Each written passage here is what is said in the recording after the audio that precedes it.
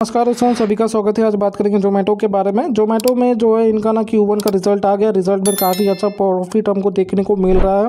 जिस वजह से स्टॉक में ना आज के दिन ना दो परसेंट तक अपसाइड का मूवमेंट लेकर ये ट्रेड करा और इस वक्त ना ऑल टाइम हाई पे ट्रेड हो रहा। है तो रिज़ल्ट में क्या आया है? तो देखिए, पिछली बार जो है ना, पिछले क्वार्टर में इनको ना दो करोड़ का प्रॉफिट हुआ था और ये प्रॉफिट जो है ना दो करोड़ से बढ़ कर ना, इस बार ना टू करोड़ का हो चुका है। तो बहुत ही बड़ा प्रॉफिट इन्होंने एक तरह से दिखाया है मार्केट के अंदर, जिस वजह से ना दो परसेंट तक अपसाइड का मूवमेंट लिया है। और पिछले भी साल जो था ना, दो करोड़ का इन्होंने जो प्रॉफिट बताया था, वो प्रॉफिट ना एक तरह से बात करें तो लॉस मेकिंग कंपनी थी जोमेटो और पहली बार प्रॉफिट लिया तो शानदार ना हमको शेयर्स के अंदर भी बढ़ोतरी देखने को मिला था। अभी यहाँ पे क्या रह सकता है? तो देखिए, यहाँ पे ना ऑल टाइम बात करें तो इलेक्शन जब कंप्लीट हुआ था तो एक सौ पर था। कंटिन्यू इसने ना दो सौ तक का अपसाइड का मूवमेंट लिया है, दो सौ चालीस तक का। तो अभी इसमें ना हमको ना छोटा टर्म में एक प्रॉफिट बुकिंग आने वाले दिनों में देखने को मिल सकता है। रिज़ल्ट अच्छा है मगर है ना रिज़ल्ट के भरोसे ना आप और पोजिशन ऐड नहीं कर सकते।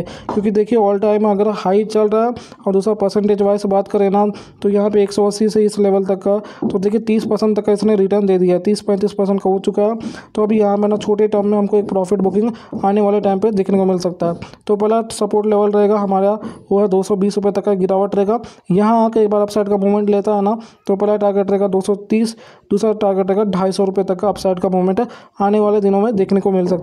फ़िलहाल तो देखिए, कल या परसों से ना इसमें थोड़ा दबाव ज़रूर देखने को मिल सकता है। आज के दिन जो ये मूवमेंट देखने को मिला, वो रिज़ल्ट की वजह से है। तो सारे कंडीशन मैंने आपको बता दिए चैनल परिवार है तो सब्सक्राइब ज़रूर करेगा जय हिंद।